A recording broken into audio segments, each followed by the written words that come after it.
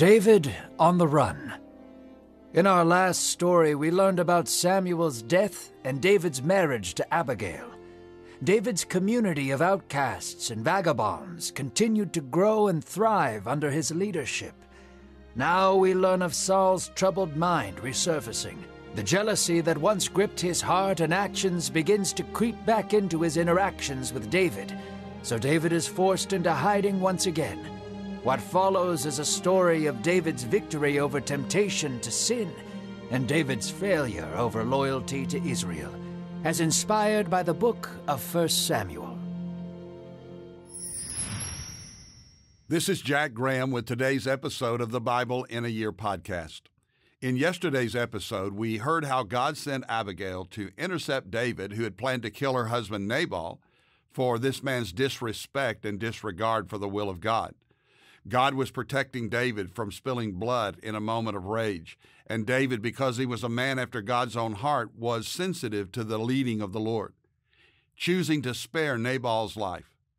Abigail, now a widow, was comforted by David, and the two were married and this was a union that God blessed.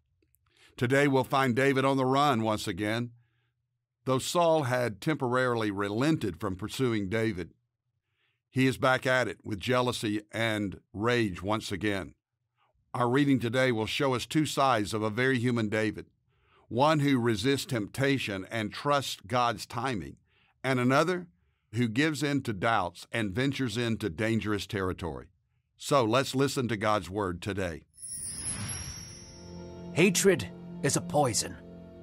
Saul, who had a moment of vulnerability and forgiveness towards David, was once again falling victim to hatred's grip on his heart.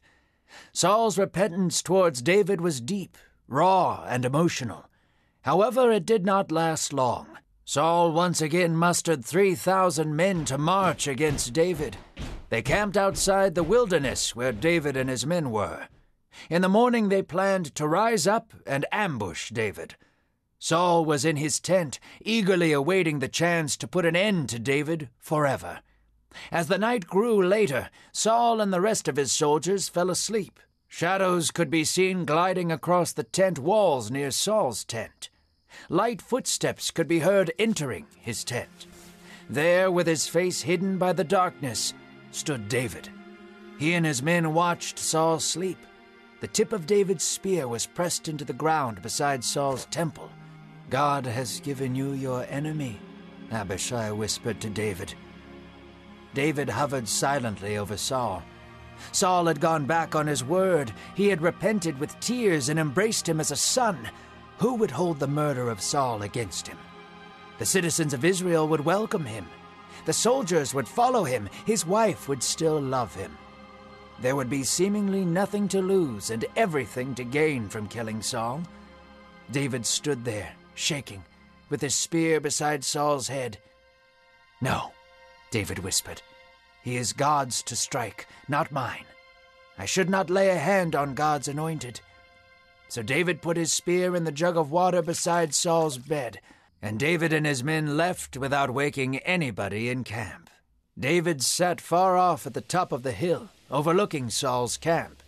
The sun began to rise and paint the camp a bright orange. David watched as the men arose from their tents and began to prepare for battle. Abner, Saul's general, began to walk among his men. David stood and took a deep breath. He cupped his hands around his mouth and shouted down to Abner, saying, Abner! Abner raised his head to see David standing on the hill above them. All the men stood at attention and watched David as he shouted, Are you truly a worthy man, Abner? You could not even watch over your king one night. Look at the spear beside his bed. I could have killed him last night. You are not fit to protect the king. Saul woke up to the sound of David's voice shouting from the hilltops. He emerged from his tent and looked up. Saul squinted to get a good look at David shouting. Is that you, my son David? David smiled. Yes, it is, my lord king, David shouted. Why do you pursue me still? What have I done to you? If it is God who has called you to kill me, then strike me down now. But if it is your own voice, or the voice of other men calling for you to kill me, then cast them away. You hunt a single flea like one hunts game in the wilderness. David's words bellowed for all the men to hear. Saul, in the most sincere voice he could muster, shouted back at David, saying, You are blessed, my son. You will surely do many things and succeed. So Saul departed from his place and did not pursue David further.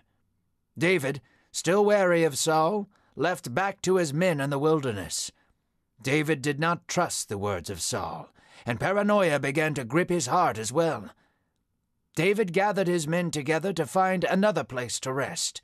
David knew that Saul would not pursue David if he left to the land of the Philistines. So David and his six hundred men gathered their things and settled in Gath with King Achish. David hid among enemies, a foolish choice disguised as wisdom.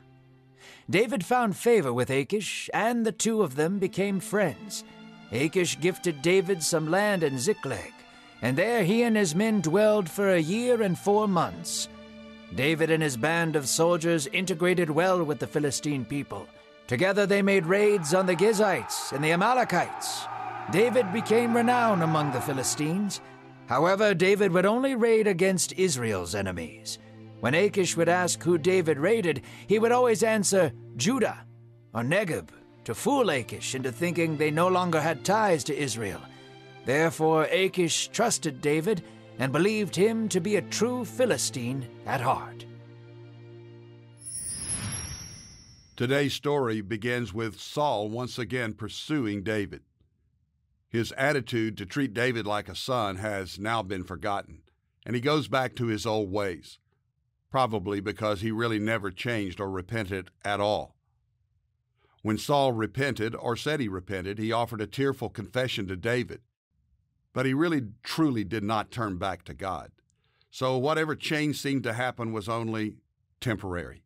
And here we find Saul listening to his own fears and paranoia and to those around him rather than listening to God and obeying God. So Saul gathers 3,000 men to go into the desert to find David. But as night fell and Saul and his camp lay fast asleep, David went into the camp and approached a vulnerable king. He was right there to be dealt with, and David's nephew, Abishai, was convinced that this was a clear sign that God had given Saul over to David. It was now time, he said, to kill him and end this threat once and for all. From a human perspective, it seems that David would have been more than justified. Saul had gone back on his word many times, and there was clear intention to harm David. But David wasn't looking at this from a human perspective. He had determined in his own heart that he would not kill Saul. So when Abishai asked David to allow him to strike Saul with his spear and kill him with a single blow, David refused. In 1 Samuel 26, verse 9, we read his response. But David said to Abishai, Do not destroy him, for who can put out his hand against the Lord's anointed and be guiltless? David had strong convictions about this. He would trust God to deal with Saul in his own time. Incredible faith, isn't it? He could have taken the easy way out. He could have taken Saul's life. He could have done what he wanted to do, but rather he depended upon God to rescue him rather than take personal revenge. David took Saul's jar of water and his spear and left. The next morning, he made his presence known to Abner, the man who should have been protecting the king. He calls him out for failing to protect Israel's king and shows him that the spear and water are missing, proving that he had been that close to Saul and could have taken him out. Saul heard David and recognized his voice. He called out to him, treating him as a son. Clearly, a strange choice for a man who wanted to shed David's blood. And yet, David maintains his calm and composure and asks why Saul is still out to kill him. Saul seems convicted again. He admits his sin and tells David he'll not seek to kill him anymore. David tells Saul that his decision to spare his life was based on how much he valued Saul's life and how much he valued God's purposes. Saul blesses David and sends him on his way. But the incident shook David, and then we see his faith begin to waver. David goes again into Philistine territory where he's sure Saul won't go.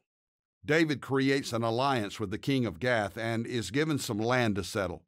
But David engages in deception, attacking enemy camps and leaving no survivors, but always telling the king of Gath that he is killing Israelites, his own people. David should have trusted God, but he chose his own way. And it's a reminder that even those who are closest to God, chosen by him, and are not immune to fear, failure, and faithlessness.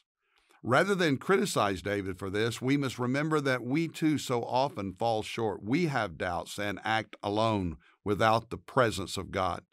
And it reminds us that we need always to trust God's will in every circumstance of our lives and allow faith to drive out fear. The next time we'll discover that there is a price to pay for David's deception and that lies always catch up to us. Lord, today we pray that we will trust in you and overcome our doubts and our fears by faith. Lord, help us never to get ahead of you or to disobey you, but to always trust you with our very lives. Help us to trust you and your perfect timing for every day. In Jesus' name, amen. Thank you for listening to today's Bible in a Year podcast. I'm Jack Graham from Dallas, Texas. Download the Pray.com app and make prayer and Bible study a priority in your life. If you enjoyed this podcast, share it with someone you love or know, and by sharing this podcast, we can get the Word of God to the world. And if you want more resources on how to tap into God's power for Christian living, be sure to visit jackgraham.org. God bless you.